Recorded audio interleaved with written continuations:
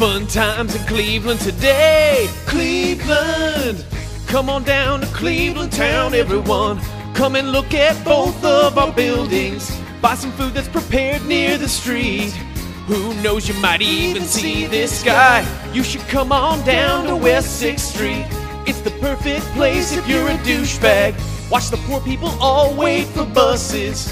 Who the fuck still uses a payphone? Here's the place where there used to be industry. This train is carrying jobs out of Cleveland. Cleveland leads the nation in drifters. Here's a statue of Moses Cleaveland. He's the guy who invented Cleveland. Yeah!